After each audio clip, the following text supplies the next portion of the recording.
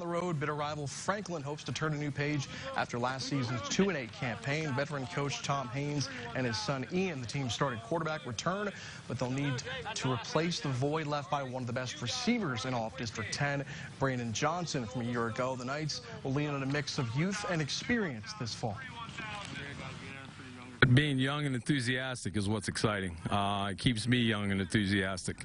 Uh, they're they're just good kids. They're working hard. They're trying. They're trying to please. I feel well. We've talked a lot about we need as a team to play together instead of worrying about more of ourselves. We need to think of the team. Just the effort, go up a little bit more, and we'll just work as a team, get the wins as best as we can. Better tackling, better vision of the field, just knowing where you're at and what your assignments are and what you're supposed to be doing.